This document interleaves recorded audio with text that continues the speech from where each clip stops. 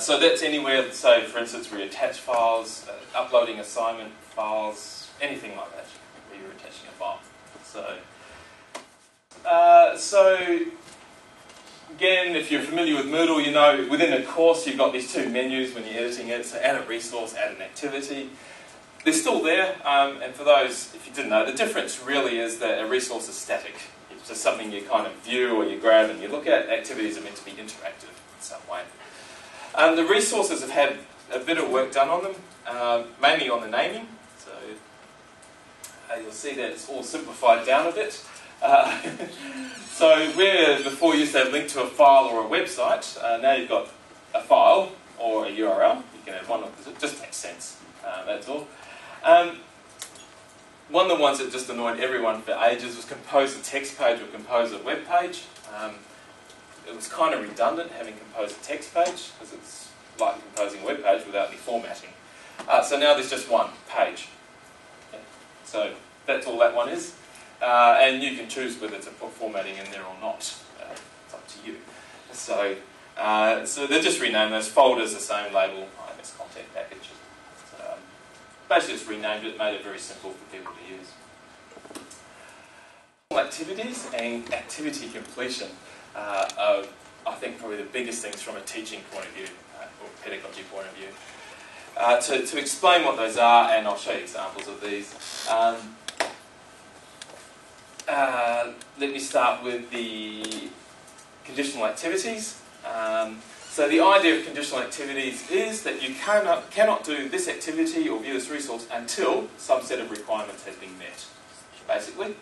Um, which is really nice because it might mean you have to do this quiz. If you haven't got over, say, 80%, then no, you can't move on in the course. You have to keep doing that quiz. Uh, when Martin first set up Moodle, it was, the idea was it was actually meant to read like your course outline. That's why it has a topics format, you know, it has all the activities in there. It would read like a, an outline for your course for that semester, except they're interactive. You could click on the different links. However, you could go in any order you wanted, because you could go right down the bottom first and do whichever activities you wanted. There might be instructions in the course to say no, um, go through, and the teacher might manually hide activities until some date.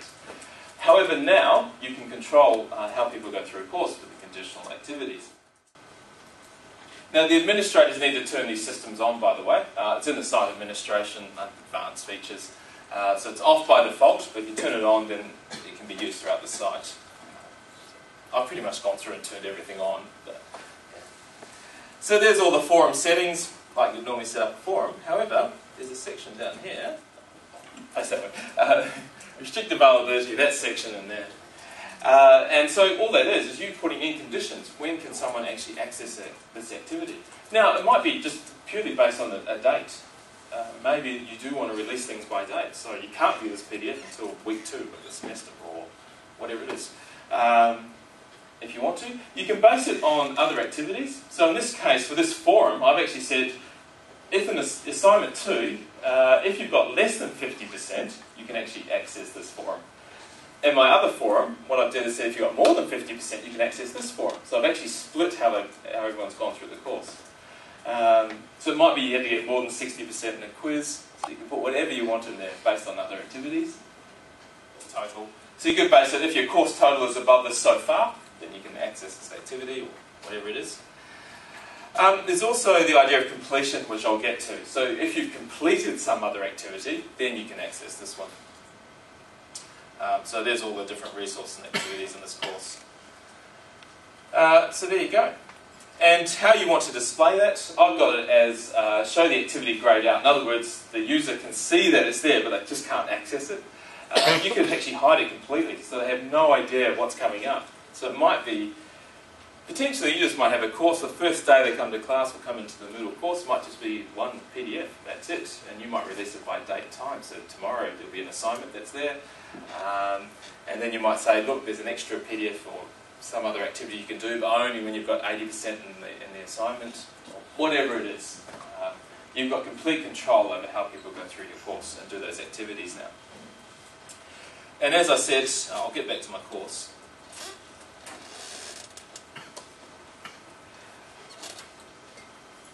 Um, so what I've got down here I know I've got the editing on, sorry, I've got icons everywhere.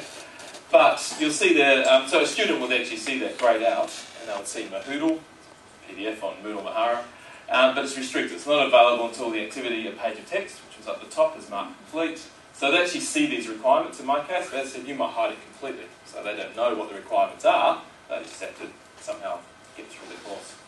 Um, and as I said here, these forums I've actually split up. So this one is if, based on this assignment above it, the first forum is if you get less than 50%, the second forum is if you get greater than 50%. So suddenly my users have gone through my course and then I've split off. And then I could actually keep them separate if I wanted to. Yeah. Can you, can you add your own conditional activities? So for example, uh, with attendance, if you have not attended, da, da, da, or are you restricted? Uh, it's a good question. Um, no, it's based on the Moodle activities, so it's, yeah. So we, you're kind of restricted to completion, which might work for that. I know there's an attendance module as well, um, but it's no one's upgraded it yet, so yeah. each module can implement its own stuff as well. So um, would have to score it in some way. Yeah. Again, the answer is yeah, potentially yes, it can, um, not for party ones. All right, I'll move on. I'll talk about completion because it kind of ties in with this as well. Uh, so one of the other problems with Moodle currently is there's no concept of completion for an activity. Uh, just because you get 60% in a quiz doesn't mean you've completed it, or you know, know what I mean. So um, you can grade something without completing it. They're two very different concepts. Um, and also, we deal a lot, I know it doesn't apply to universities and schools, uh, but we deal a lot with training organisations, and what they really care about is has someone completed the course? And um, so quite often we write reports for them, but we actually have to get all these rules saying, well, what, what does completion mean to you? Does it mean that everyone they've viewed every resource? Does it mean they've got over 80% as a course total? What does completion mean? Um, so we, we customise a lot of sites based on that now. However, in Moodle 2 it's done. Um, there is a concept of completion in there. Uh, so, again with these activities, uh, and you have to turn this on site-wide, but each activity, I go and edit my page of text, uh, blah, blah, blah. there we go, conditional, the completion. Uh, so there's two options, oh it's three options I guess, uh, we don't really care about completion, that's the default. The other one is a student can manually say, I've completed this, because you could actually say to students, look, here's all the different activities, you tell me when you've completed it. Um, in this case, it's a resource, so check it off when you've read it, um, if you want to. Um, the other one is show it as complete when some conditions are met. Um, so Moodle will actually automatically mark it as complete when some conditions are met. And uh, in this case, it's a resource. Now, this will depend on what it is. If it's uh, an activity like an assignment, completion, you can put in a grade saying complete is when you've got 50% or whatever it is. In this case, because it's just a resource, they must have viewed it. That's, that's rules. And you can put an expected completion date, so they can know when they should be going through these things. Uh, expected if I save and return to my course, uh, there it is there. Um, now what you'll see down here, if you've got completion, uh, these activity completions on, and you have to set this for the course as well. Um, there's, so there's site settings and there's course settings. They say for this course I want to use completion activities, and there's also a concept of course completion. Uh, you get these little checkboxes everywhere, and so that's per user. So as a student, I come in.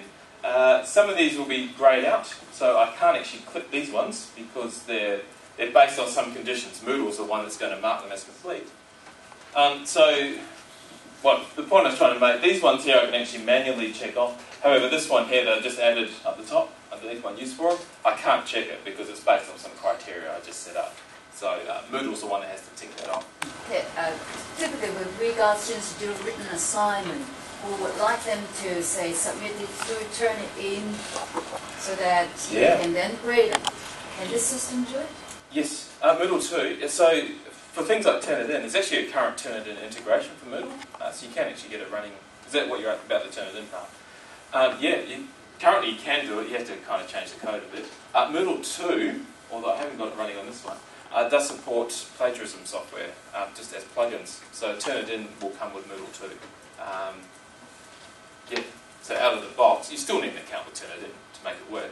Uh, but out of the box, yeah. So when someone submits an assignment, actually send it to Turnitin, come back with a report, and uh, then still the teacher needs to look at the report and grade it, but yes, you get those type of things. Um, it's done as a plugin because there actually is other uh, software out there like Strike Plagiarism and there's another big one, I've forgotten. Anyway, they've got an integration for Moodle as well. Um, so they're just plugins, you choose how they work. Uh, Moodle won't do anything with it. All it does is sends it to turn in and brings the report back for the teacher to view. Um, I saw Dan Marsden, who wrote all the plagiarism code for Moodle 2, he actually did a very good demonstration of it at the New Zealand Moodle conference earlier in the year. As he said, you might get a report back saying that someone has 90% of their assignment is copied, but it actually might be valid, because they might have actually referenced it all, you know, and done quotes properly. Um, so they said you've kind of got to take these reports and put it in context. Um, yeah. So, uh, yeah. So, yeah, obviously Moodle can't make those decisions for you. It just shows you the report, and you still need to decide as a teacher. It needs a human in it for you. Oh, by the way, you can see that I'm logged in as a student right now. So um, my blocks aren't docked because the student hasn't docked their blocks. They're appearing on the right-hand side. Um, anyway, let me get back as me. Should have done that course completion one. Whoops. Uh, as a teacher, I might do course completion as well. Um, there's a course completion block, which doesn't make sense to a teacher, it does for a student. Uh, but I might say there's requirements for course completion. Um, I can say you have to have completed this set of five activities, and maybe one of the teachers has to mark you off as being complete, and as a student, you have to sign off saying, I've completed this course. Once all those requirements are met, then the course is actually marked completed for you. Um, so Moodle has a concept not just of activity completion now, but of course completion based on some criteria as well. And so that's what this block is for, is my course completion status. And as I say, I'm logged in as a teacher again, so it doesn't make sense. Uh, if you want to play with these, by the way, there's a site qa.moodle.net. Um, so anyone can go play with Moodle 2 code, so don't feel like you've just seen this and can't go and use it, you can.